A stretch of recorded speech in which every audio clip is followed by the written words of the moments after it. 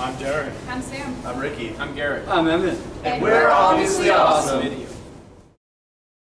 In looking at young people involved in the occult, do you see any particular type of dress? I have uh, personally observed people wearing uh, black fingernails, having their hair painted black, wearing black t-shirts.